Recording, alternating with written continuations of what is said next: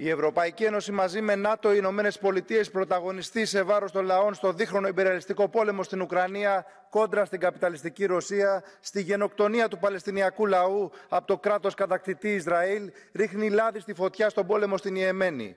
Στο πλαίσιο της ΚΕΠΑ δίνονται δις εξοπλισμών και τεχνητής νοημοσύνης, πυρομαχικών και τεχνητής νοημοσύνης επίσης εντείνονται οι διεργασίες νέας κλιμάκωσης για αποστολή στρατευμάτων του ΝΑΤΟ και προστρατού με λαγό τη δήλωση Μακρόν. Ω και επίτροπος άμυνας ορίζεται. Γεμάτη κινδύνους η ευρωνοσιακή επιχείρηση Ασπίδες, η ανάληψη του συντονισμού της μέσω του στρατηγίου της Λάρισας από την κυβέρνηση της Νέας Δημοκρατίας, όπως και η αποστολή της ελληνικής φρεγάτας Ήδρα. Όλα για τα συμφέροντα των εφοπλιστών και των ομίλων διαμετακόμισης με σύμπλευση και τον ΣΥΡΙΖΑ Πασόκ.